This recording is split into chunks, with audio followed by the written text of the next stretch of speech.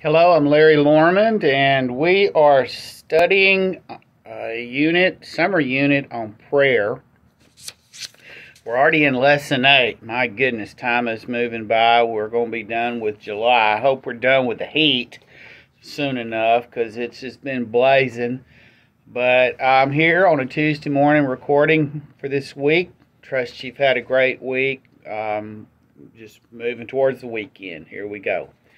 Uh, lesson title is Jesus Prays for Us. I'm going to talk about that title here in a moment. We're in John chapter 17, 20 through 26. Um, Jesus is kind of getting, he's at the end of his ministry. He knows he's going to the cross. Uh, he is trying to prepare his disciples for his departure, and they're confused. They're thinking that he's going to go defeat the Romans and uh, he's going to be king, an earthly king, and um, they're going to live together in the kingdom. And that's their idea of the kingdom. Even though Jesus described the kingdom differently than that, they just didn't get it.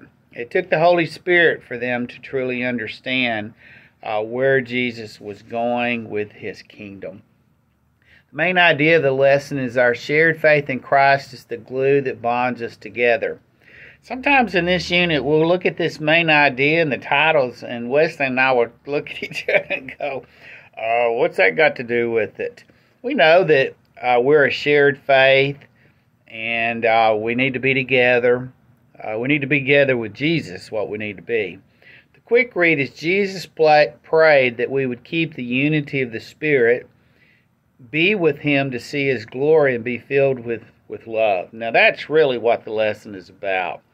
He prayed that we would have unity. He prayed about a lot of things. And I, you know, if you're going to comfort a person at the end of your life, what would you talk about? Well, Jesus talked about heaven. He talked about the Holy Spirit. Uh, he talked about how we should act when he's not here. Uh, we know the disciples were prone to not act the right way, even when Jesus was in their presence. So he was a little bit concerned about how they would act when he wasn't there. Let's do a little bit of introduction to the lesson. I have a few points, uh, things that I've thought about. Um, I don't know what your mental picture of heaven looks like.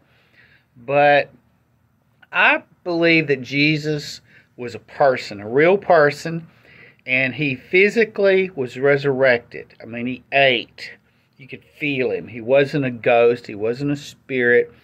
Um, he um, he was physically resurrected. He had a real body. Okay, so I believe when he ascended into heaven, I I see God the Father as a spirit. Okay, he doesn't have a physical body. We describe him as a body because we talk about God's face and his hands and things like that, but he is a he's spirit. God the Son, Jesus, is in heaven today uh, with a physical body. Now that's kind of a stretch. And I believe that the Spirit is the person of God that's doing the work of God. Wherever God's presence is. We know He's omnipresent, He's everywhere. But the Spirit is doing the work of God here on earth and in heaven. So there are three different entities. And I believe that when Jesus was here on earth, He was physically not present with the Father. So He prayed. Okay? But now that He's in heaven, He's physically with the Father. And I believe that He speaks to the Father. Okay? And so when you say Jesus prays for us, I think that he does speak to the Father about us, and uh, but he's in the presence of the Father to do that. So I think it's different now when he prays for us than it was when he was physically on the earth. Okay, I might be straining on a gnat, but that's what I thought about when I looked at this, okay? So park that, move forward.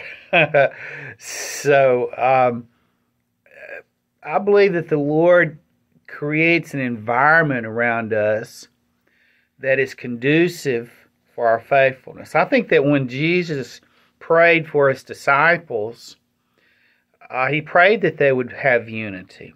But that was still a decision on, on the part of believers and his disciples. They could have not been unified. And we know that through history, the church hasn't been. I don't believe that when Jesus prayed for the church and prayed for us in the garden or in the upper room, we'll talk about that in a moment, that he had in mind quite what the church looks like today. I think God takes us where we're at and he's pleased with our worship, whatever form that is. But it does look different, okay? The church has manifested itself in a lot of different ways on earth.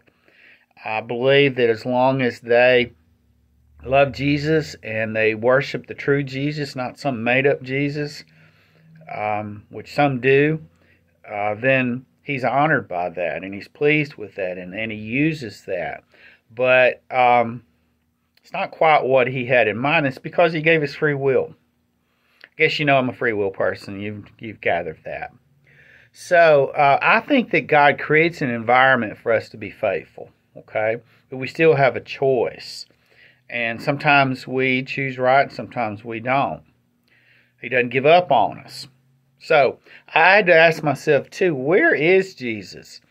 You know, he prayed a lot during the last days. He prayed in the Garden of Gethsemane. We know that because all the disciples went to sleep. Uh, but here, if I'm reading it right, it looks to me like he's still in the upper room for this part of uh, his prayer life, okay? I think he leaves here and they go to the Garden of Gethsemane and then he prays there again, but they're still in the upper room that's kind of questions you need to look at when you study God's Word is look at the context of it. Where is he? Where has he been? Where is he going? Who's with him? Those kinds of things. That will clue you in quite a bit to circumstances and things. Uh, one note that I came and added this morning before I started was um, Jesus prayed a lot. And he didn't just pray in the difficult, the, the, the easy days, he prayed on every day. Okay? So these are very difficult moments uh, that Jesus is having. And, um, you know, he prayed mostly for other people, he prayed for his disciples. Uh, the only time that you ever hear him talking about himself is, you know, he asked the Father, Is there another way? And he knew that there wasn't. And he said, Well, then your will be done. That's really the only time you see Jesus praying about things personally for him. Uh, everything you see in this lesson today is about other people. And that's really the way our prayer life should be. So he prayed during his most difficult moments. Now, my goodness, when I looked at this lesson, you know, when you teach scripture, you kind of have to divide it up a little bit uh, because he's saying different things at different times. And it's always better to kind of divide it up and draw some lines. I literally draw lines in my lesson book. I don't know that you can see that, but I draw lines and um, think about you know things that the scripture's saying. Uh, it was a little bit more difficult to do that today, but I I uh, divided up four different ways. I think Jesus prayed for future believers. Isn't that interesting? That he knew there would be others that would come. He prayed that we would have unity. I guess he knew we weren't going to be unified. Uh, he prayed that we would be with him, and I think that's a precious thing. And then lastly, he prayed that we would love one another. He talked about that a lot. So let's read it. 1720. My prayer is not for them alone, not just these 12, not those other disciples on the earth. I pray also for those who will believe in me through their message. Isn't that interesting? Jesus knew that we would come. There would be disciples, there would be believers they would come for generations to come. And so he's praying, he prayed for us there. Isn't that interesting? I guess that's how the the lesson title comes in is that um, he uh, he knew others would come, so he's praying for them. Um, that you know, we know he's all knowing, but he knew then that we would believe. He knew that we would. Isn't that a powerful thing? He knows those that will come in the future. Uh, praying for my grandchildren right now. They're little, and uh, they're just now learning about Jesus. Such a precious thing. Our son, y'all know, is he's Anglican, and they're they're Christian too. Just a little different flavor there. Uh, but he was so pleased that their like 16, 17 month old son went to church and came home and was saying the name of Jesus. I tell you, that was a big factor in them joining that church and becoming a part of that body in San Antonio was the fact that his baby went to church and came home talking about Jesus. Isn't that a precious thing? My prayer is one day they will come to know Jesus. And and I know that will happen because of the church and because of his parents, their parents. So he prayed that he prayed for future believers. Second thing is he prayed for is that they would we would have unity. Let me read this section.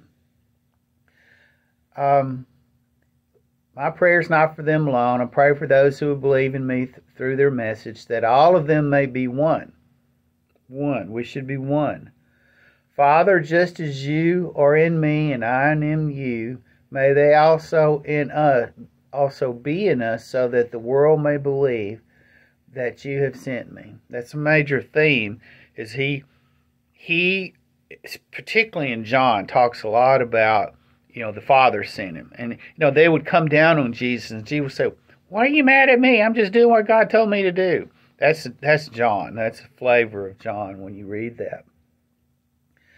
Um, they, that they will know that you've sent me I've given them the glory that you have given me, that they may be one as we are one. I in them and you in me, so that they may be brought to complete unity. Are we in complete unity? I hope we are. Most of the time we are. Then the world will know that you sent me and have loved them even as you have loved me. Well, he want the reason it, that unity is not is a good thing in and of itself, but unity communicates things. Okay, um, my wife and I being unified communicates something to our children and to our grandchildren. It communicates that we love one another and we respect one another and we truly are together. And uh, it's always been that way and it's always going to be that way. And there's comfort in that. Uh, my children are comforted by the fact that my wife and I have unity. And it's going to always be mom and dad. Mom and dad are always going to be together. And uh, that communicates things. It's, it's positive in and of itself, but it multiplies positive things. So Jesus is praying that we would have unity. You know, unity means that you don't always get your way. Uh, unity means that you put the needs of the other person above before your your own. Um, you know, doesn't mean that it's always easy, but it means we are together. We're going to be together. We love one another, and so let's move forward together. So Jesus prayed that they would have unity, and by and large, the church has. We've had our moments. I'm talking about the universal church, the church through history. We haven't always um, done the right thing, but uh, you know the message has gone forward, and there and we've been mostly unified. Let's put it like that. I, I'm grateful that our church, our church, is unified. Uh, we all have our opinions, but you know we move forward together. Third thing is that Jesus prayed that we would be with them. Let me tell you what, that is marriage language. You know, when um, the the bridegroom would go and build a place for him and his bride to live, and it was always part of the father's house. But then he would go and get his bride, and then they would be together. And um, Jesus, I think, appreciated that and loved that idea of in marriage, and in particularly in, in a wedding. Um, so this is this is marriage language, I remember Jill and I getting married, and we didn't care where we lived. Where we lived, we could live in a cardboard box as long as we were together. And and Jesus craves that. He wants that. He wants that relationship between himself and believers. So let's look at that. That's verse 24. Uh, this is precious language too. Verse 24 Father, I want those you have given me to be with me. Isn't that something? To be with me where I am and to see my glory, the glory you have given me because you loved me before the creation of the world. Um, you know, Jesus, again in John 14, you know, he talks about um, us being with him. That's a recurring theme. He, he values us so much that he wants us to be with him. Last thing that he prayed about is that we would love one another. Righteous Father, though the world does not know you, I know you, and they know that you have sent me. I have made you known to them, and will continue to make you known in order that the love you have for me may be in them, and that I myself may be in them. He wants us to love one another. He wants us to have the kind of love between each other that He has for the Father. And that's a perfect love. That's a giving love. It's a forgiving kind of love. It's a godly kind of love. Well, let's look at some truths. I wrote three of them down. That three, complete number three. Here we go. First truth is Jesus is very much aware of what is going on with us, and he cares about where we are spiritually in our relationship to the church and other believers. Uh, Jesus is not just in heaven right now, unaware of what's going on with you and me. He knows everything going on in our life, and He cares. Uh, that is um, a positive. It's a it's a beautiful thing. It's comforting to me to know that even though, uh, even before I pray and ask Him to to work in a situation in my life, He knows. He knows the circumstance. He knows all the issues involved. You know, he knows the people. Um, he knows, and that's that's a beautiful blessing. Second thing is unity is paramount in the kingdom, and most things among believers that we may argue about don't rise to the point of being important enough to cause disunity. Um, unity is a major, major, major, major, major thing among believers. Don't be a person who causes disunity. 99% of the time, the thing that you're so worried about or you're so upset about at the end of the day is not big enough, not a big enough issue to cause disunity. Okay? So you got to weigh these things out, and most of the time they don't rise to the point of causing disunity. Last point I think this is maybe a repeat in some ways, but if you're going to cause disunity in the body of Christ, you better be right and you better have the facts right. And most of the time, believers don't. Don't. So, I've been in the ministry on church staff for a long time, and most things are not important enough to cause disunity. Okay? So let's remember that as we move forward. Let me pray with you. Jesus, we love you. We love each other. I thank you for your precious prayer. I thank you that it's recorded. We see your heart and your your emotions in the prayer, and we see the things you really care about. I pray we'd care about the things you care about. Help us to love one another, to love you, and to stay together. In your name I pray. Amen. God bless you. You have a great week. Stay cool.